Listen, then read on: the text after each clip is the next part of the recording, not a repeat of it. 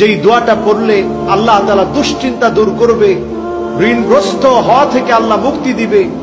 ঋণকে আল্লাহ রাব্বুল আলমিন ঋণের বোঝা থেকে তোমাকে হেফাজত করবে, বলেন সুবাহান আল্লাহ নবী বললেন আল্লাহ হুম্মা ইন্নি আউযু বিকা মিনাল হাম্মি ওয়াল হাজনি ওয়াউযু বিকা মিনাল জুবনি والبخل. وأعوذ بك من غلبة الدين وقهر الرجال